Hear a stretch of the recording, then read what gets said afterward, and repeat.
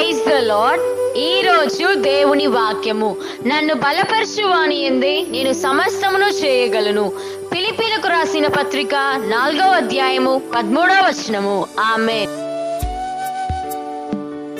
இன்றைய நாளுக்குரிய வாக்குத்தத்தம் என்னை பிளப்படுத்துகிற கிறிஸ்துவினாலே எல்லாவற்றையும் செய்ய எனக்கு பலனுண்டு பிலிப்பியர் நான்காம் அதிகாரம் பதிமூன்றாம் வசனம் ஆமென் Promised word. For I can do everything through Christ who gives me strength. The book of Philippians, chapter 4, verses 13. Amen.